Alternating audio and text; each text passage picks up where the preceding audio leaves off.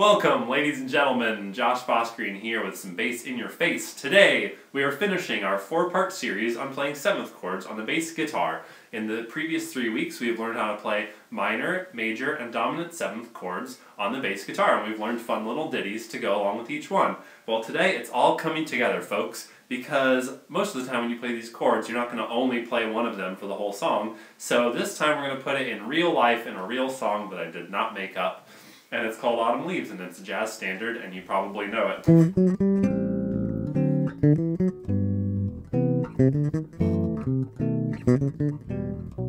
So, we're going to use the shapes we've learned, which we'll review briefly, and uh, then we're going to play through the progression a couple of different ways. You need to download the PDF to follow along. There's a link below. You can click on it and you can get it and it's free and isn't that wonderful? Okay, so the first thing we're going to review is our minor 7 chord shapes. And one thing I've reiterated there uh, that I said in our minor 7 video is that these voicings, since there's no fifth in the voicing, you can use the same shape for minor 7 as you can for a half diminished chord, which is that little circle with the line through it. That means half diminished. So if you look at those little notes I have in parentheses there, those are the fifths of the chords. So if you were to play a minor 7 chord with the fifth,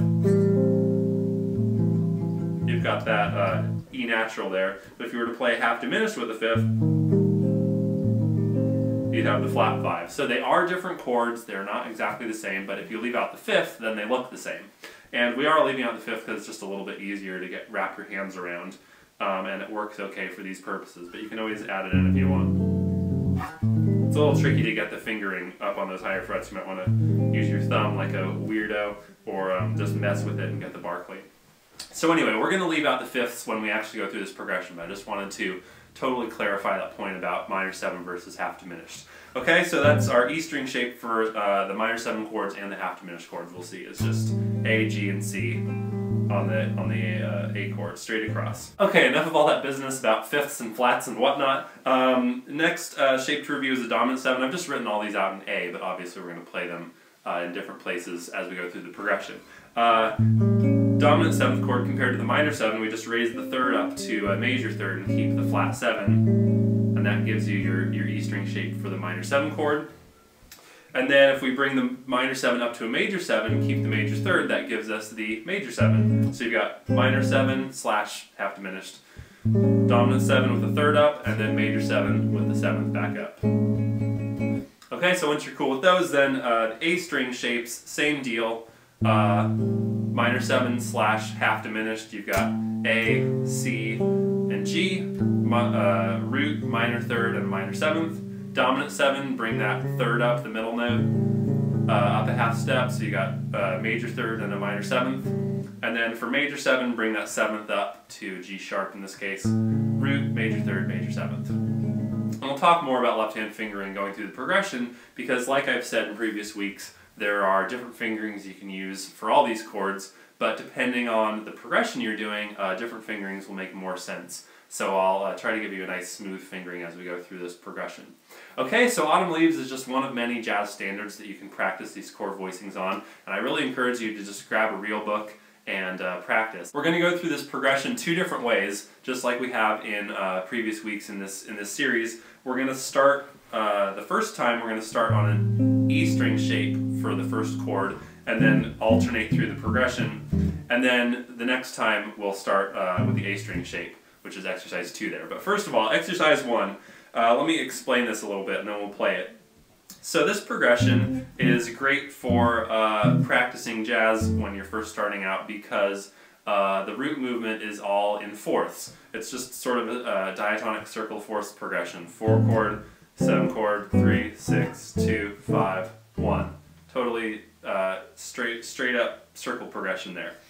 Um, so the reason that's cool for these chord voicings is that you have very good voice leading because um, when your roots are moving in fourths, uh, your sevenths and thirds flip in a really nice way uh, so that uh, guide tones aren't moving very far. And again, guide tones just means thirds and sevenths. Let's just talk through this chord by chord and then we'll play it in time. First chord is A minor 7 and I would advise you to make sure your pinky is on the G string note and then you can go pinky, ring, second finger from there. So I'm going middle finger on the root, third finger on the seventh, and then pinky on the top note. And the reason we're going to do that is once you got that, when we go to the next chord, D7, your pinky can stay on that C on the G string because it's a common tone between the chords. So then you've got third finger on the root D, second finger on F sharp, and fourth finger on C. So first chord we've got middle, ring, pinky. Second chord we've got ring, middle, pinky. Uh, and then we're going to do a similar thing going through the next two chords. So we've got D7, now we're going to G major 7. We're going to do the same fingering we did for the A minor 7. Second finger, third finger, fourth finger. And then uh, I'm going to go ahead and do second finger, first finger, fourth finger for the next chord, the C major 7. So again, that pinky's staying on the on a common tone on the G string, so you don't actually have to move it. And then uh, next chord is F sharp half diminished, which we're just playing our minor 7 voicing because there's no fifth. But keep in mind that it does come from the Locrian, not from the Dorian, okay? Um, so same same fingering here, two, three, four, and then we're going to go to B dominant seven, which is not a diatonic chord, but we like to have a major third in our five chords to tonicize their roots. Now, don't we, kids? I'll talk about that in another video. It doesn't make sense. Don't worry about it. Just just play the thing. Uh, okay, so F sharp half diminished to B7, and again, keep the pinky on the common tone. There's lots of common tones in this progression because uh, it's a circle fourths progression, and that's just how it is.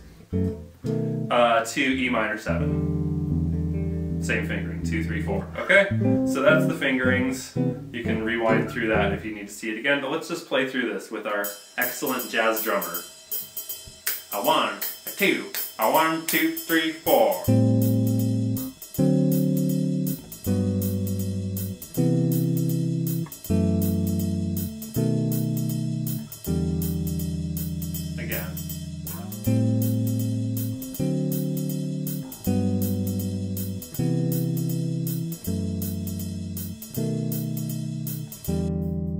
Thing to pay attention to is at first, if you're first, if you're just learning these chord voicings, you're not going to be able to make your uh, note lengths as connected as I was just doing.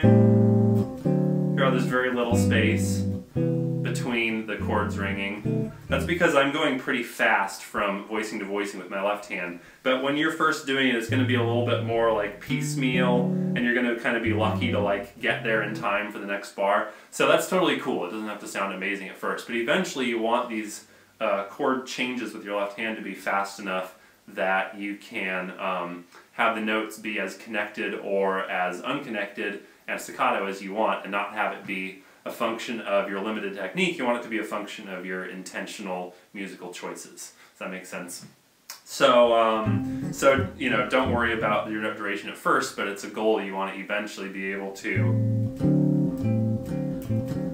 connect the chords uh, without a lot of space in between each chord ringing. I'm going to bring bring them together, just so you're able to do it. You don't always have to do that, but um, I think that makes sense. Um, okay, so that's that, and obviously if you were playing this in real life, you could do some different comping rhythms and not just play whole notes, but I'll leave that to you to explore because it's a complex topic of how to do good comping rhythms, and I can't just throw it into the middle of this video, now can I? Um, okay, let's go to exercise two, which is the same progression, the A section of Autumn Leaves, but we're going to start on an A string shape for the first chord, the A minor 7, which means we're going to be flipped around for all the other chords. Uh, rather than going E string, A string, E string, A string, E string, A string, E string with our roots, we're going to go A, E, A, E, A, E, A. Flipped. That makes sense? Same deal, same uh, chords, just with our alternate voicings that we also know. Okay, so again, we want to keep common tones as much as possible. So um, going to start with third finger, first finger, fourth finger. That's low to high, A, C, G, third, first, fourth. And then I'm going to go first, second, fourth. So the pinky just coming down a half step. The other fingers have to move around a bit. For the D7 chord, index, middle, pinky. Now for the G chord, the pinky's on a common tone. And we got two, one, four. And then for the C chord, everything moves a little bit.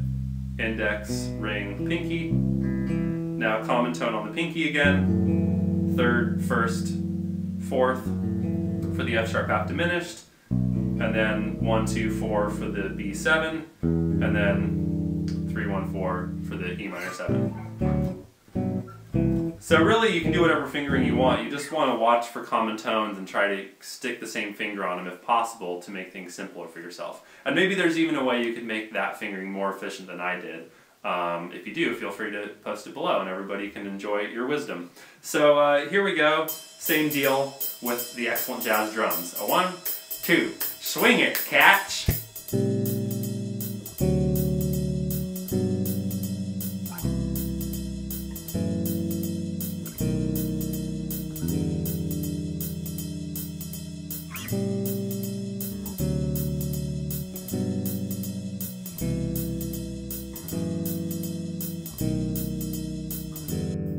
Okay, so really the point of this video is not just to teach you autumn leaves, but I want to show you my basic approach for going through any jazz progression with these seventh chord voicings. So what you can learn from what we've done so far is uh, that when you have progressions where the roots are moving in fourths, you know, here you've got a, a, a tritone instead of a perfect fourth, but that's still a type of fourth.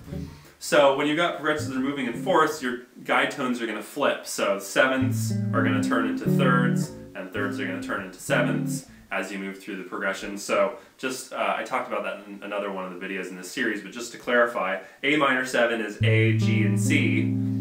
Uh, G is the seventh and C is the third. Now when we go to D7, C is the seventh and G moves down a half step and becomes F sharp, which is the third. So the seventh turns into the third, and the third turns into the seventh as we go to the next chord. So that's something to watch with guide tones. It takes takes some practice to get used to, but um, it's it's a good thing to notice. And then the other thing is you just want to um, you know mess around with different progressions. Uh, it's not always you're not always going to be able to smooth things out by swapping shapes like the way I've had you do it. Um, you know, if you have a more stepwise progression, like I just thought of uh, uh, Recordame is another jazz standard. The first two chords are A minor 7 to C minor 7. Well, that those roots are only a minor third apart, so you pretty much have to move in parallel um, if you're going to stick with these same shapes. So uh, it's not always, you don't always have to smooth out the voice leading is what I'm trying to say. You could walk through a whole progression and actually only use E string shapes. There's nothing horribly wrong with that, it's just hard to move around the neck if you're not used to it and it doesn't sound smooth.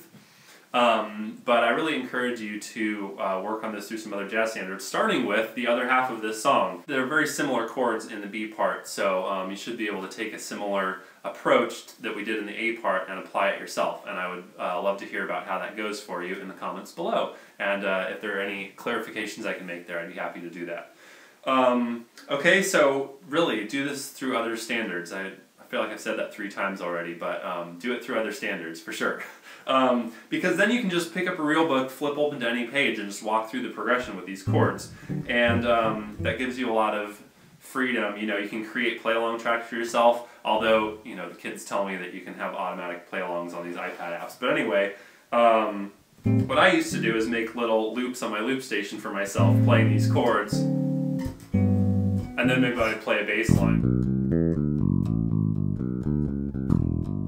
and then I could do a little solo over it, and it's like you can do the whole package. You just learn the modes for the uh, for the bass line, learn the voicings for the accompaniment, and then practice uh, soloing all over the top of it. It's pretty fun to create it all yourself like that. Okay, so I feel like that's enough on that. Um, I really hope that you'll try to do this on the B part of Autumn Leaves on your own as homework and apply it to any other standards you want to. Um, I think I've, I've given you the tools you need to pretty much get through the whole real book uh, not counting weird alterations and stuff. Okay, so this is the end of our series on seventh chords. I hope that you've enjoyed it and learned all about seventh chords and that you're just so happy about seventh chords that now you know how to play. And uh, I'll see you next time for another bass lesson. If you want to show your support for these lessons, you can check out Patreon or make a donation through my website. And I really appreciate when y'all do that. And you can also buy my new book, Beastly Scales and Arpeggios. Check it out. See you guys soon.